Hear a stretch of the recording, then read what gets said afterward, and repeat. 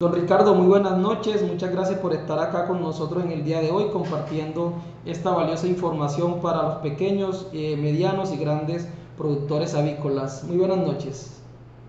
Buenas noches, Kevin. Eh, gracias por esta oportunidad que nos brindas de a nosotros como empresa, a nuestros productos y sobre todo al mundo avícola, de compartir el conocimiento que tenemos, de compartir la los productos que tenemos y la posibilidad de llevarlo a todos los avicultores de, pues, de, la costa atlántica colombiana, de Colombia y de quienes nos escuchan.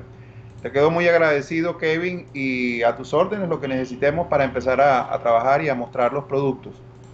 Muchas gracias, don Ricardo. Vamos a, acá nos, nos están diciendo que se escucha bien, nos están saludando desde Perú, Adriana, nos, Adriana Marlon. Bueno, parece que el sonido está muy bien.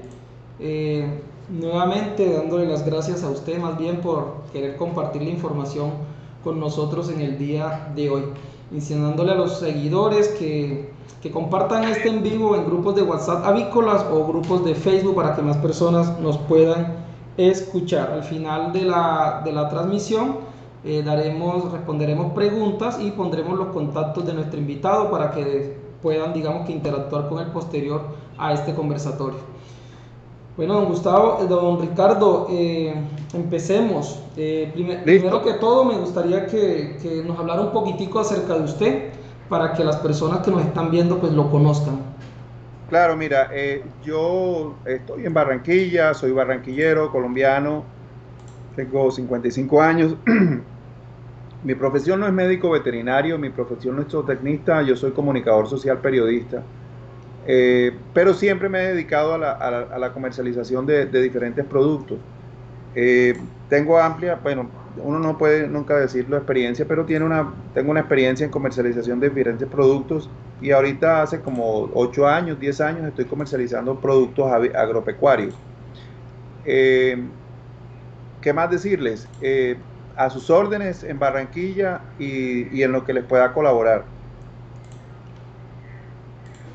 Bueno, Ricardo, eh, yo tengo por aquí preparadas unas preguntitas. Eh, me imagino que usted también tendrá alguna información adicional que nos podría sí, claro, claro, yo tengo una exposición que hacerles ah, bueno. con respecto a los bebederos de Niples. Eh, no sé si comenzamos de una sí. vez. Entonces, mira, eh, para todos los que nos escuchan en, en avicultura, eh, el agua es un tema fundamental. El agua, pues, es parte de la vida de todos los seres vivos y en avicultura no es la excepción Entregarle un agua buena al ave, tanto de engorde como ponedoras, es básico para el desarrollo del, del, proyecto avícola. En cuanto a los proyectos en cuanto al agua y la forma de entregar agua, hay dos sistemas básicamente. Uno que se llama el bebedero o los sistemas bebedero, de bebedero abierto, donde básicamente el agua está expuesta al, al ambiente, y el otro es el sistema cerrado, entonces, eh, en este conversatorio nos vamos a referir exacta y precisamente a el bebedero cerrado, al sistema de bebedero cerrado. Vamos a hablar un minutico del bebedero abierto. Los bebederos abiertos son aquellos donde queda el agua expuesta en el galpón. Mm, de pronto eh, le, le conocemos como bebederos de volteo, bebederos de inicio, que son los que se le ponen en el primer ciclo en los primeros días a los pollitos o pollitas eh, en los galpones. Pero esa tiene eh, la característica que el agua le cae polvo, hay que estar limpiándolo, eh, puede caerse, se moja la cama y algunas otras cositas que tienen ese producto. Eh, y además que eso es un, un, bebedero que se recomienda usar en los primeros días de, de, la, de la avicultura. Ya después se recomienda un sistema cerrado, aunque hay bebederos automáticos abiertos, pero igual les puede caer polvo y agua. Ya la avicultura profesional, cuando yo me refiero a avicultura profesional es a los de un poquito más nivel eh, en, cuanto a capacidad de, alojamiento de aves, les les funciona y el que se, se recomienda es un bebedero de tipo cerrado tipo Niple. Estos son los bebederos de Niple que nosotros eh, tenemos, pero hay de diferentes tipos. Está este que es el de una marca colombiana, este es un producto patentado, se llama el bebedero Abicorbi. Este bebedero es patentado y es un producto colombiano. Y este otro bebedero de Niple, que es un bebedero que tiene un pin activador. Ahora les voy a explicar la diferencia entre uno y el otro. Estos bebederos de Niple, ambos, son los que se utilizan en la avicultura de gran escala. La gran noticia o, el gran avance tecnológico que tenemos es que este bebedero de Niple, que es un sistema de, de entrega de agua cerrado, se puede llevar al avicultor de pequeña escala. Y eso es muy importante, eso es bien, bien interesante porque el bebedero el, perdón, el avicultor de pequeña escala va a tener acceso a la misma tecnología, esta de bebedero de niple, que lo tiene un avicultor profesional un avicultor que tiene 40, 50 mil aves en un solo galpón. Es la misma tecnología. Nosotros hacemos el mismo, el mismo para uno y para el otro. Entonces, en el entendido ese, que este es el mismo producto, es la, ventaja, la oportunidad que nosotros le vamos a llevar al, avicultor pequeño. Eh, ¿Qué ventajas tiene nuestro o el sistema de Niple? Ok, entonces ya entramos en conocimiento de este producto. Eh, este es un bebedero de Niple que no tiene el pin activador que tiene este otro. Eh, ahí se alcanza a ver perfectamente en la imagen. Sí, señor, se escucha, se ve bien. Sigue, sigue. Ok, este no lo tiene. Este bebedero de Niple se activa en qué forma? Eh, nosotros, el pollo tiene que poner el piquito en esta parte de aquí y le sale la gotica de agua. En tanto no haya ningún contacto de agua, eh, perdón, eh, con el niple, incluso golpeándolo, no va a haber caída de agua en la cama. Y eso en la avicultura es muy importante tener una cama seca, porque se evita pues, eh, las enfermedades que, que, son comunes cuando hay cama húmeda o mojada, además de los olores amoníaco y demás.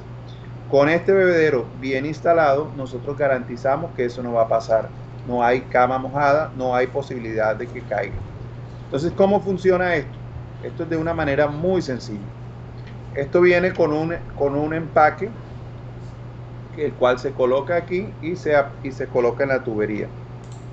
Yo tengo aquí un, un tramo muy pequeño de niple, el cual les voy a mostrar cómo funciona. Aquí, si se pueden dar cuenta, está instalado el niple en la tubería de agua. ¿Ok? Entonces el pollito o la pollita activa aquí y le sale su gotica de agua. Pollito de un día, pollita de un día aprende a tomar agüita aquí obturando. Pero se van a intercalar niple y se coloca esta copita. Esta copita se coloca en este niple, en esta forma, que es bien sencilla y se, y se intercala, uno sí, uno no, uno sí, uno no. Aquí esto se llena de agua y se hace lo que llaman la escuela de niples. Este bebedero sirve para que el pollito se acostumbre a tomar agua y él por curiosidad viene y toma aquí y hace su aprendizaje del uso del niple. Al tercer o cuarto día, esta copa se retira de donde está cuando ya el animalito ha aprendido y ya quedan todos los niples con eh, sin, el, sin la copita y los, pollitos siguen tomando aquí. Eh, ese es el sistema de niple. Ahora, esto tiene que eh, utilizarse con unas características que hay que tener en cuenta y sería muy importante que tomáramos nota de esas, de esas características porque no en todas las granjas se pueden instalar. Entonces, lo primero que hay que tener en cuenta es que los niples funcionan desde el día 1 hasta el día final del, proceso pues, de, engorde o cuando salen ya para el beneficio. O en las gallinas desde el día 1 de la pollita hasta el final del ciclo. Pero muy, muy importante lo que voy a decir. Cuando son gallinas que son levantadas en un sistema que no, son, que no se sabe, pues porque la persona a veces compra los, las gallinas levantadas, eh, normalmente eh, son, compradas, son levantadas en sistemas abiertos, es decir, en los bebederos o de campana o, o cualquier otro sistema de bebedero. La gallina cuando viene aquí al niple, ella no alcanza a identificar que aquí hay agua y como ya va a empezar el ciclo de postura, estoy hablando de una gallina de 16, 14 semanas, esa gallina muy posiblemente se va a atrasar el proceso de, de, aprendizaje del niple. Entonces, por eso es que no estamos recomendando 100% el uso del niple para gallinas levantadas, pero para gallinas que son recibidas de un día se puede utilizar. Para pollitos de un día hasta el final del ciclo de, de o hasta que salgan a la planta de beneficio. Eso lo primero. Eh, ¿Cuántos niples, eh, perdón, cuántas aves por niple? El catálogo de productor nos dice que se llevan o que utilizan de 10 a 12 aves por niple. Entonces uno saca la cuenta. Tengo mil aves dividido entre 10, 12 y le pone el número de niples para que estén todas las aves atendidas. Lo mismo para las gallinas ponedoras y los mismos. Estos niples también funcionan para jaulas, jaulas profesionales, jaulas en eh, gallinas ponedoras en jaulas. Eh, la distancia que hay o que se debe poner de un niple a otro es más o menos 15 centímetros. Esto es porque es un prototipo, pero más o menos 15 centímetros. O eh, dependiendo del largo del, del galpón, pero normalmente se utilizan 15 centímetros de niple a niple. Hay unas recomendaciones que hay que tener en cuenta para la instalación de estos sistemas de niple. Y son las siguientes. Eh, nosotros para instalar un sistema de niple tenemos que tener en cuenta, uno, lo, el tema de las gallinas eh, que no sean levantadas, no recibir gallinas levantadas en eso. Dos, la altura del tanque de agua no debe sobrepasar los 10 metros de altura y debe estar entre los 10 metros y los dos y medio, 3 metros de altura el tanque de agua que está al lado del galpón. Número 3, la línea de niples o el galpón en general tiene que estar nivelado, totalmente nivelado y por una razón muy obvia. Si la línea queda desnivelada, pues toda el agua se va a ir para acá y los primeros eh, no van a recibir agua y no va. Entonces eso debe quedar nivelado en todo lo largo del galpón. Si hay alguna pregunta este, hasta este momento, con mucho gusto la vamos solucionando por si de pronto no alcanzan a tomar nota de las dudas que vayan surgiendo. Eh, y las vamos solucionando de una vez o que les surja. Eh, yo, yo las voy apuntando, don Ricardo, yo voy apuntando las ah, dudas y al final se se las paso a usted y las respondemos y la otra cosa es que el en vivo queda grabado, entonces las personas lo pueden consultar en cualquier momento. Ah, perfecto, excelente. Entonces, íbamos en las características de, instalación eh, de, las líneas de niple. Entonces tiene que quedar nivelada, el tanque de dos y medio, 3 metros a, a 10 metros y nivelado. Ha habido oportunidades o hay clientes que me dicen, mira que yo tengo un galpón que tiene algún desnivel. Mira que yo tengo un galpón que tiene un, peldaño, un escalón, y, y, rellenar ese galpón eh, es muy costoso. Entonces me dicen eh, cómo hacer. Entonces yo les digo lo siguiente. Cuando el galpón tiene un desnivel más de 50 centímetros, nosotros no recomendamos hacer ningún tipo de adaptación para eso. hay que cortar y poner otro, otro regulador de agua, que es un tema que les explico a continuación. Pero cuando el desnivel del galpón es muy, muy, muy grande, hay que tener una medida que, que se tiene y se pone un compensador de agua, el cual compensa esto. Pero eso mm, suele suceder algunas veces, pero no es todas las veces. Normalmente todos los galpones que van a ser utilizados en niples eh, o todos los galpones en general que son utilizados en avicultura son normalmente son nivelados, entre otras cosas por el tema del agua, pero también porque los animalitos se acumulan al fondo, las cascarillas, en fin, hay, hay ciertas, entonces normalmente se encuentra eso. Entonces, eh, les decía de, de, las instalaciones básicas, entonces, ¿qué se necesita para hacer una instalación de niples? Lo siguiente, nosotros tenemos un tanque de agua, dos y medio, cinco metros de agua, Luego viene un regulador, un filtro de agua, eh, un, filtro de, agua. Y luego viene el regulador de agua. Esto es un regulador de agua. ¿Ok? Viene un regulador de agua y ya se coloca la línea de niple hacia todo lo largo del galpón. ¿Qué pasa? Este regulador de agua va a regularnos eh, la cantidad de agua que se va a entregar en cada en cada niple. Esto se coloca en una altura 10, eh, 15 centímetros de la línea de niple. Esto se va regulando a medida que va entrando. Muy importante, estos reguladores de agua, todas las líneas de niple llevan un regulador de agua, de esta marca o de cualquier otra marca. Hay reguladores de agua que funcionan para una u otro tipo de niple. ¿Ok? Listo. Entonces, tanque de agua, eh, filtro de agua, regulador y viene la línea de niples a lo largo de todo el galpón. Hay reguladores como este de, esta compañía que aguanta hasta, hasta 80 metros de largo o incluso un poquitico más. Pero tiene que ser una línea continua de niples. Al final de la línea se coloca una manguera, que esa es una manguera que se pone de drenaje eh, para limpiar el eh, perdón, la tubería de niple. Los niples nuestros atienden más o menos, entregan más o menos 3.000 litros de agua en 12 horas. Un regulador de agua, como este que les acabo de mostrar, este regulador de agua, atiende más o menos 8.000 pollos, más o menos 9.000 eh, gallinas ponedoras y el piso nivelado. listo. En ese momento ya tenemos instalado una línea de nipples. Suele suceder también, entonces la gente nos va a preguntar, em,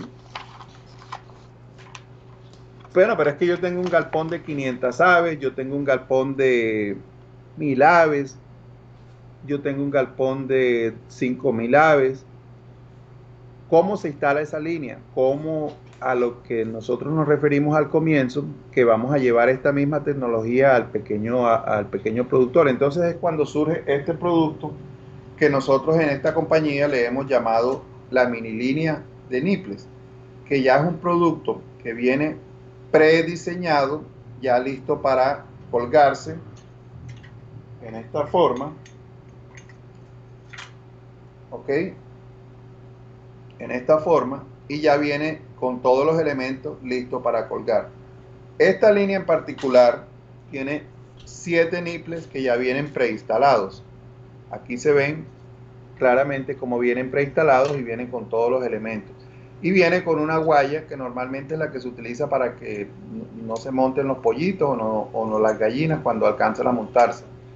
Viene con una tubería de PVC que le da rigidez al, sistema, a la mini línea, esto se llama una mini línea, y esta en particular tiene un metro y medio y viene con siete niples.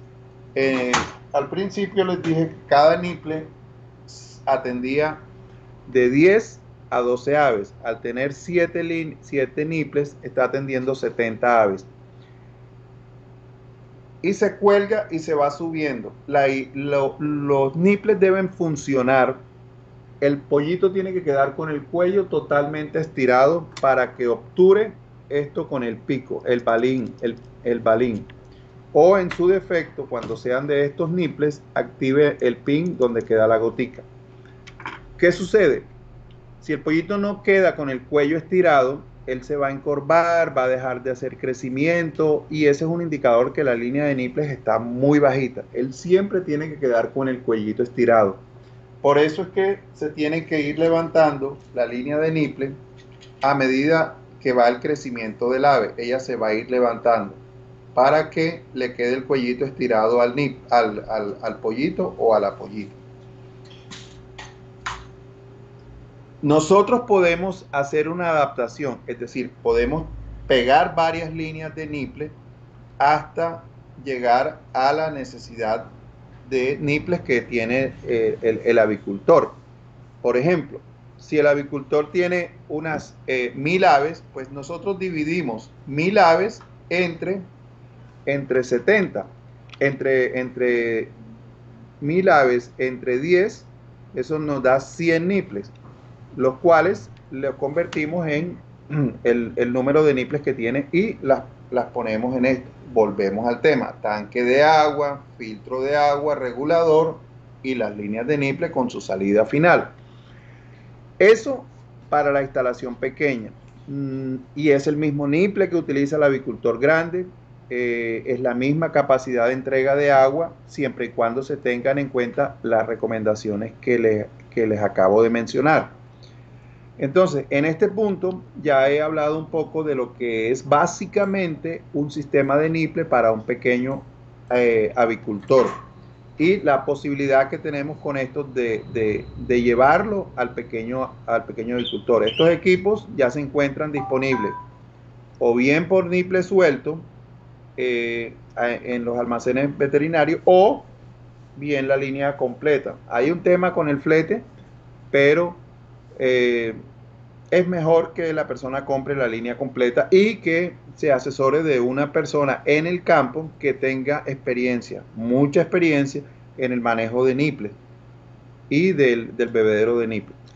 Entonces, eh, hasta este momento voy a, mencionar unas generalidades, unas palabras mm, que son de uso frecuente eh, en este tipo de instalaciones para que todos empecemos a hablar el mismo lenguaje y no le llamemos de una forma u otra, lo cual desperdicia tiempo y conocimiento.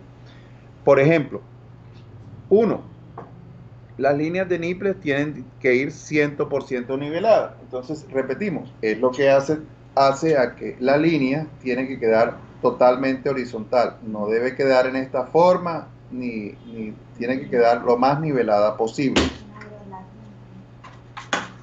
Dos, el regulador de agua. Este es el que les estoy presentando aquí, que es un regulador de agua que básicamente lo que hace es regular agua. Hay de otras marcas, pero todos hacen la misma regulación. Y hay reguladores que sirven para una marca de niple u otra. Eh, filtro de agua es pues, un filtro de agua que, que retiene las partículas gruesas. Normalmente los tanques en, los, en las granjas tienen, les caen hojitas, les caen polvo, les caen cositas. Esos filtros lo que hacen es retener eso porque estos niples eh, los mantienen. Altura 3 a 10 metros en el tanque de agua. Salida final es la que al final de la línea de niples, es decir, al final, ya al final del largo que sea el galpón, se hace para el drenaje y el limpiaje. Eh, las gallinas ponedoras, el tema de las gallinas ponedoras, no olvidarse de ese tema que es bien importante. Y el aseo, hay penes que nos han preguntado cómo se le hace aseo a estas líneas de niple. Todas las instalaciones de niple o todas las instalaciones, ellas em, suelen crear una cosa que le llaman un biofilm en la parte interior. Eh, por la circulación de agua, porque el agua queda retenida, por diferentes cosas. ¿Cómo se hace el mantenimiento de estas líneas? Mientras los bebederos abiertos, cualquiera que sea, se limpian permanente o diariamente, o cada dos o tres días, en ese proceso de limpieza, pues se salpica, se moja la cama y es por eso que no se, pues, se recomiendan, pero ya en este nivel que estamos trabajando es el sistema de niple. Pero entonces la pregunta es cómo se limpian estos, estas tuberías. Hay unas, hay unos químicos, hay unas técnicas, hay unas experiencias que se hacen que es que se les hace un choque de cloro, una mezcla de ácido acético y luego, por supuesto cuando no haya población y cuando no haya eh, que la cama esté limpia y todo, se pone a circular ácido acético por, el, por la línea de niples, por toda la tubería y al final se hace un drenaje y eso va limpiando por dentro. Eso evita que el biofil que se va quedando aquí eh, se quede pegado y se, y se complique. A veces eh, se tapan los niples es por esa situación. Eh, hasta este momento nosotros hemos hablado de todas las instalaciones de niples y de cómo podemos llevarla. A mí me gustaría, Kevin, que nos mostraras un video que tenemos por allí de una instalación de niples de un galpón, digamos, mediano, en el cual se, se, se muestra cómo, cómo queda una instalación final y cómo... Ahí está, en este momento aparece, sí señor. Ok, ahí alcanzamos a ver, ahí alcanzamos a ver la, la línea de niples, eh, alcanzamos a ver los reguladores de agua, los filtros de agua en la parte superior, las, los sistemas de alza, que bueno, me, se me olvidó mencionarlo, los sistemas de alza para subir las líneas, y las diferentes líneas de niple que hay en ese galpón que recientemente se instaló, creo que es en el interior del país. Eh, también se necesita para levantar, cuando ya es una línea muy larga como esa, se utiliza un malacate eh, para, para, para, levantar eh, las líneas de niple. Em, esos sistemas de, de, niples, así como ustedes lo están viendo, garantizan cama seca. Ese en particular es un proyecto que se hizo, no, no, recuerdo en dónde, creo que es en Bogotá, porque, pero eh, garantiza cama seca. Ahí podemos ver varias líneas, creo que ese galpón tiene cinco líneas de niple y miren lo largo que es con un solo, y está dividido a la mitad, entonces va de un lado y de otro lado va cada regulador. Esa misma tecnología es la que nosotros le podemos llevar al avicultor pequeño. Es la misma, si se pueden dar cuenta. Y es lo, lo novedoso que estamos ofreciendo y que ya es importante, pero es importante que sea bien instalado y eh, cumpliendo los requisitos pues que o las características técnicas que les acabo de mencionar. Eh, me, me, parece que se me olvidó mencionar el tema de los malacates o de los sistemas de alza, pues, porque como tenemos una línea de unos 20 o 15 metros, pues de pronto es fácil levantarla con la mano, ¿verdad? Para que vaya quedando nivelada. Pero ya cuando un galpón es de unos 30, 40, 50 metros, eh, se utiliza un malacate donde levanta toda la línea completa. De hecho, se va levantando para que el animalito tenga la capacidad de, tomar el agua con el cuellito estirado y se levanta totalmente para eh, hacer algún procedimiento dentro del galpón en cuanto a aseo, en cuanto a limpieza, lo que se necesita hacer se puede levantar hasta el nivel del techo. De hecho, los comederos también se levantan con esos sistemas de alza. Eh, y eso se utiliza con un sistema de malacate que también estoy desarrollando, eso sí lo estamos haciendo nosotros en Agroenlace. Estamos desarrollándolo para llevarlo al pequeño productor. Eso tiene un entramado en la parte superior que estamos desarrollando para que nada más le llegue al avicultor, me diga, mi galpón tiene 40, 30, 10, 15, 20 metros de largo.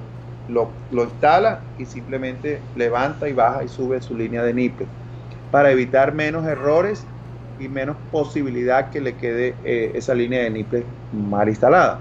Y por supuesto no le dé los resultados que, el niple que el ofrece, ¿no? Eh, hay galpones eh, que tienen todos los eh, ya básicamente sistemas de NIPLE, que son los de, avicultura profesional. Eh, hay otros que utilizan este sistema, que es el sistema de, pin activador externo. Eh, la gotica de agua queda allí colgando, esta, esta que se ve aquí. Pero sucede que al quedar la gotica allí, normalmente cae o puede caer al, galpón y una gotica en, en X número de goticas pues va a generar un, una cama mojada. Eso es lo que se quiere que no, no, suceda en el, en el galpón.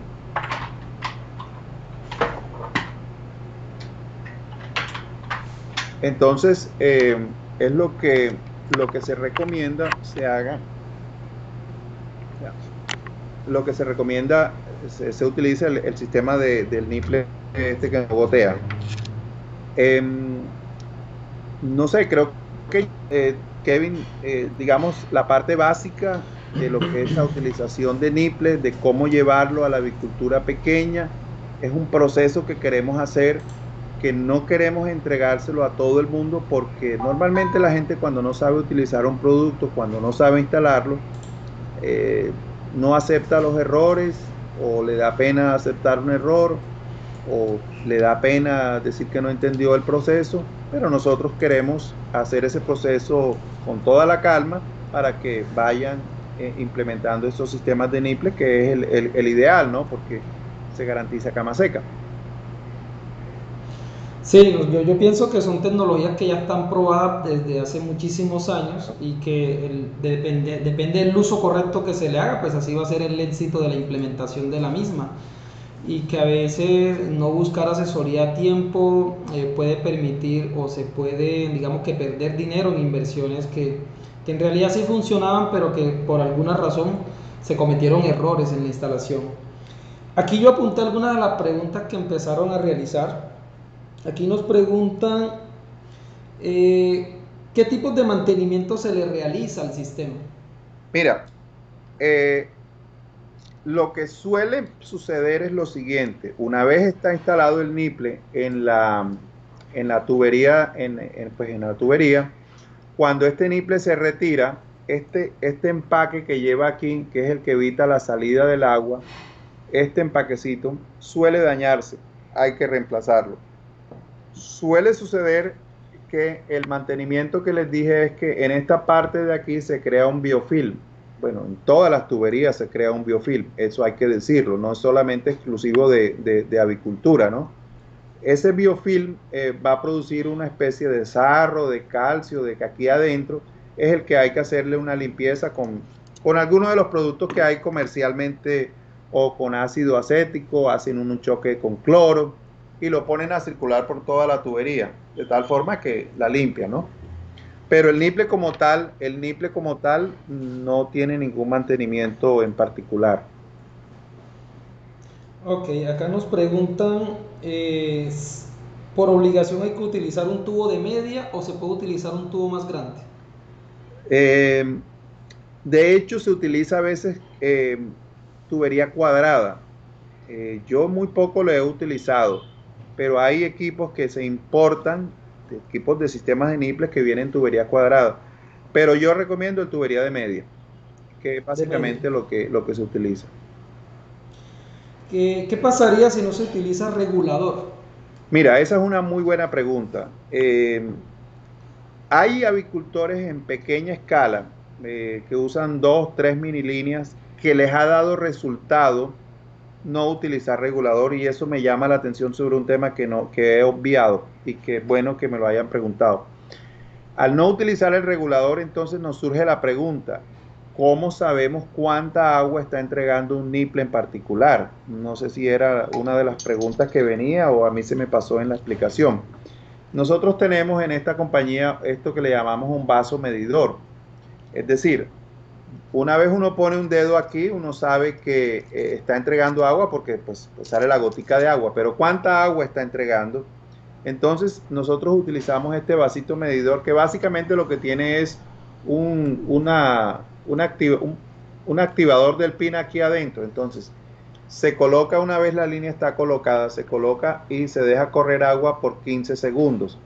A los 15 segundos se retira de el y aquí tiene unas, indicadores de, caudal recogido. Entonces, en ese indicador nos va a indicar cuántos centímetros cúbicos de agua recogió en 15 segundos. Eso lo multiplicamos por 4 y nos da el, el, caudal que está entregando en un minuto. El regulador de agua te regula el agua. Hay casos y ha habido avicultores pequeños, muy pequeños, de 2, 3, y hasta 4 mini líneas, eso estoy hablando de 7, 8 metros, que no necesitan regulador, pero sí se necesita utilizar un regulador. Cualquiera de cualquier marca, pero sí es necesario para las instalaciones más grandes tener un regulador de agua. Nos preguntan acerca de la altura, de la altura del tanque. La altura del tanque tiene que estar, normalmente los tanques al lado de los galpones están a un lado del galpón entre 2 y medio, 3 metros a 10 metros de alto. Ahí debe estar la altura del tanque del agua que está al lado del galpón. Fíjate, Kevin, eh, esa pregunta de la, de, la, altura del tanque es muy importante. Fíjate que a mí me pasó un caso una vez donde eh, yo estaba viendo el tanque de agua y pensé que el agua venía de ese tanque y no, estaba viniendo de un tanque mucho más lejos que lo tenía eh, muy alto y, el, y la presión de agua era tal que el niple no lo bajaba, incluso el regulador no estaba funcionando bien, pero es que era una, una montaña. Pero sí, la altura definitivamente es entre 3 a 10 metros de, de, altura, como digamos como máximo. Ya 10 metros es demasiado pues que esté un tanque a un lado, a menos de que tenga un tanque que abastezca muchos galpones. Pero eso es muy poco probable que suceda. Eh, nos preguntan que si el manejo de la presión que del agua tiene que ver con la altura, ¿cierto? Sí, claro, claro. Básicamente lo que entre más altura eh, tiene el tanque de agua, eh, pues va, a ejercer más presión y ese es el trabajo del regulador precisamente. Él va a regular eso para que le salga lo suficiente de agua a cada, a cada punto de niple, ¿ok? Entonces eso se, eso se controla con la, con la altura del regulador de agua. Ok. Eh, Rafael desde YouTube nos pregunta, ¿cuál es el promedio de vida útil que tienen este tipo de bebederos? Esa es la parte para los que son comerciales. Eh, estos niples demoran mucho tiempo, mucho tiempo. Yo he ido a granjas donde los niples tienen casi 10 años de utilizarse. Si tenemos en cuenta que un niple de estos no sale más allá de 5 mil pesos, 4 mil, 5 mil, dependiendo pues de la distancia y de los temas de flete y eso demás, pues eso es mucho tiempo para, para, para una vida útil de un producto que está casi que las 24 horas en contacto con el agua, ¿verdad? Y en uso. Entonces yo diría que como, como, como 10 años. Nosotros entregamos una garantía de un año. Desde Facebook, eh, Fernando nos pregunta Ah, no, ya se lo respondimos. ¿Cuántos, cuántos niples por, por, ah, no, cuántas aves por niple en postura? 10 eh, a 12 aves. O sea, ya la, ya la habíamos visto.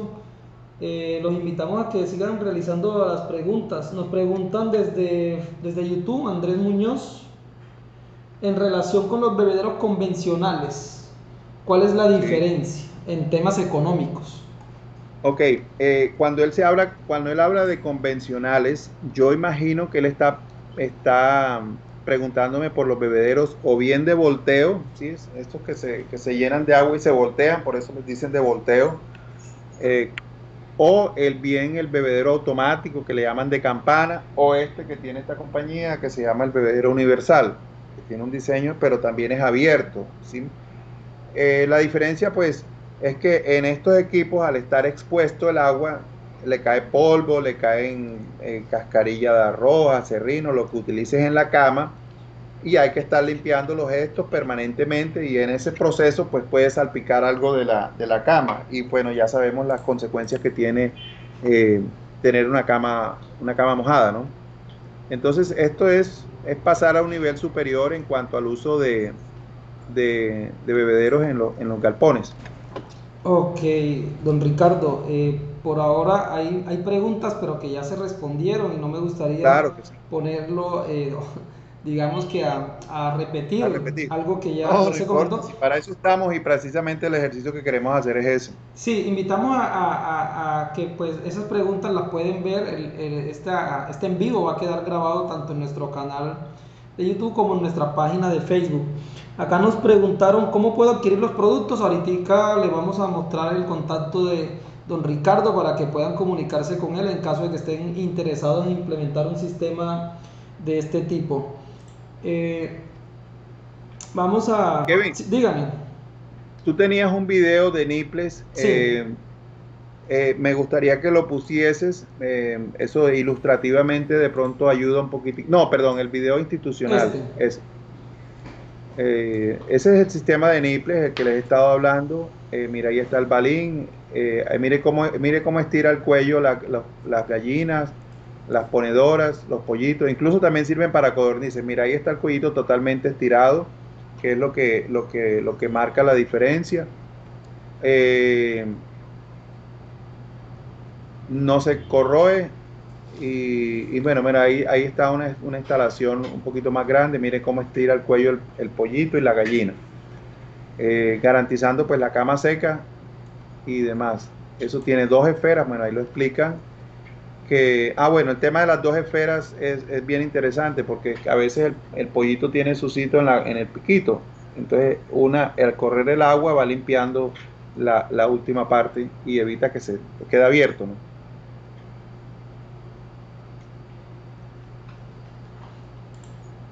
Listo, por acá nos están haciendo eh, otra preguntita desde YouTube. Nos pregunta Alejandro. Dice, ¿el regulador a qué altura debe ir? El regulador debe ir eh, más o menos a de unos 10 centímetros de, la, de, la, línea de niple. Es decir, asumiendo que esta sea la línea de niple, debe ir más o menos a 10 centímetros. Pero sí también es cierto que el regulador uno puede subir un poquito, centímetros más, centímetros menos, midiendo o empezando a medir aquí el caudal que va entregando y eso, ese, ese movimiento es el que uno va cuadrando para, para, para entender y para tener la entrega de agua correcta aquí. Entonces, el regulador debe ir más o menos 5 o 10 centímetros de alto de la línea. Nos pregunta... Ah, Cada regulador tiene su indicación de, de producción, ¿no? Sí. Desde Facebook nos pregunta Adri Díaz las características del filtro. Ah, ok. El filtro de agua, eh, básicamente nosotros utilizamos, o los filtros son unos filtros de malla, de malla gruesa, de malla, de malla de acero, para retener partículas gruesas, tales como palitos de agua, eh, palitos, hojitas, arenita, eso se va reteniendo en el filtro para evitar que, pues pase a la línea. Pero los filtros son unos filtros convencionales que uno sí puede conseguir en, en el mercado, digamos. Ok, nos pregunta Moisés. Cindy, Paola Feria le manda muchos saludos, al igual que Ligia. Eh, Muchas gracias. Nos pregunta Moisés Romero, ¿cuál es el goteo? ¿Cuál es el goteo adecuado para la avicultura? Ok, eh, nosotros eh, con el vaso medidor, ¿cierto? Con este vaso medidor, esta compañía entrega eh, este kit para, para, para retirar y, poner el niple. Esto se, extrae en esta forma y se retira el niple. Con este otro aparatico se, van colocando los niples y entregamos un catálogo. Un catálogo en el cual eh, se explica toda la forma de instalarlo. Esto es bien sencillo, esto no necesita y eh, nos hace esta observación el catálogo. Yo soy muy, muy, muy ceñido a lo que me dice el productor. ¿Por qué razón? Porque el productor hace las cosas eh, y uno tiene que ceñirse a, las indicaciones del catálogo de productos. Entonces, eh, la entrega del niple con una altura de agua del regulador de 10 centímetros entrega 60 centímetros cúbicos. En 35 centímetros entrega 160 eh, centímetros cúbicos de, agua. Eh, entonces, eso es más o menos la, eso lo entregamos con el, con el catálogo de, con los niples, básicamente. Nos están preguntando eh, desde Facebook, nos pregunta Marco Tulio, nos pregunta con respecto a los reguladores, a veces dan problema de empaque de diafragma. ¿Dónde puedo conseguir esos empaques? ¿Qué tan difícil de conseguir son? Ok, ese empaque de diafragma, es, e, e, este, es, el señor se, se, refiere a un empaque que está en la parte interior de estos reguladores o de cualquier regulador, que no solo este tiene ese empaque. Eh, este empaque, estos equipos, eh, la recomendación que se hace es mandarlo a fábrica para que le hagan su reparación. De hecho, estos equipos eh, tienen un número de serial o tienen una, indicación especial donde se han vendido, ellos se abren, se les cambia este diafragma en el, en el productor. Entonces yo la recomendación que le hago a la persona es que si son productos nacionales como lo es este, eh, en el, se acerque al lugar donde lo compró o directamente en, la, en nuestra planta de producción en Pereira eh, le pueden ofrecer el sistema de, de de, perdón, de, de, diafragma para la reparación, pero eso nunca lo puede hacer una persona eh, por su cuenta, pues desarmar un aparato de estos y, intentar arreglarlo. Ok, eh, dice, ¿se puede conseguir el producto en Bolivia o en otro país diferente a Colombia? Nos pregunta Alexander. Sí, en Bolivia Avicorbi tiene un distribuidor, eh, si mal no estoy, no, no tengo conocimiento cómo se llama, pero sí creo que en Bolivia hay, tenemos un distribuidor en Salvador, si mal no estoy, tenemos un distribuidor fábrica en Texas, en Brasil, en Venezuela ya no se tiene, eh, ¿dónde más? Creo que en Panamá también. Eso está en la página web de, la compañía productora que es Avicorbi, ¿no? Ok, hay unas preguntas de Leobardo López, pero no, no, logro entenderlas muy bien. Si nos puede dar precisión, con mucho gusto se la puedo transmitir acá a nuestro invitado de hoy.